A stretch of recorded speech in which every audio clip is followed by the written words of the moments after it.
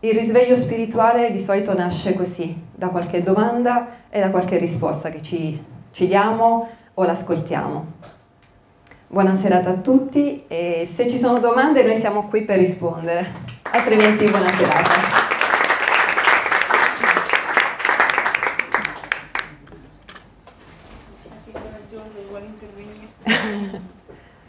Volevo fare una domanda un po' più prosaica.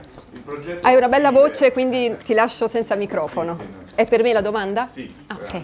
eh, volevo sapere se ehm, ci potevi dire a che stadio è, eh, sia da un punto di vista di sviluppo che anche burocratico, il progetto Top Giver, che mi è sempre interessato di Max Olivieri. Da un punto di sì. vista burocratico stiamo aspettando quella legge che dorme in Parlamento e quindi eh, è come non avere riconosciuta una figura professionale che sarebbe il caso di averla riconosciuta dalle istituzioni. E Max Olivieri ha avuto il coraggio di fare questo primo corso di formazione, non è completo perché sono state poche ore, però intanto, anzi due anni fa, nel 2017, intanto è stato fatto un primo passo. E quest'anno faremo il secondo step, che è l'ulteriore formazione eh, che porterebbe a, a lavorare anche con le persone autistiche.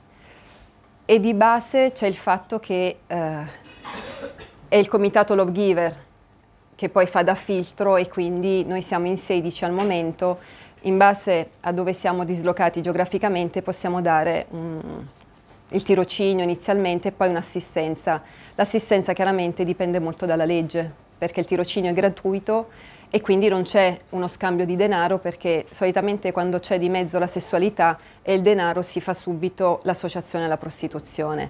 Io però vorrei sottolineare questo, poi chi abbia voglia di approfondire e seguirmi sul blog, ho scritto diversi articoli dove quando noi parliamo di sessualità Sarà perché magari arrivo da una formazione tantrica e quindi dall'intervento che avete compreso non è il sesso.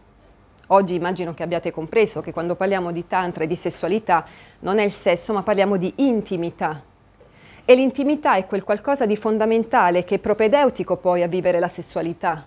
L'incontro, il tocco, il guardarsi negli occhi sono fondamentali e se poi avete piacere di guardare il film, nel documentario si evince questo rapporto fra me e il mio assistito.